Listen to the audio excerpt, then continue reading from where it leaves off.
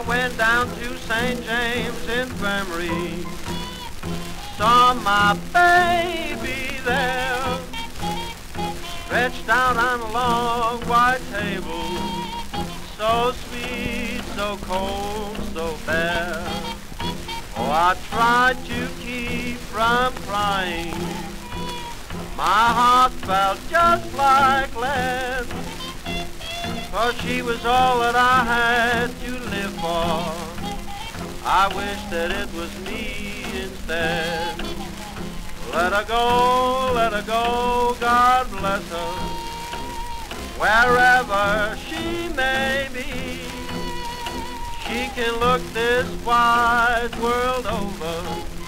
She'll never find a sweet man like me.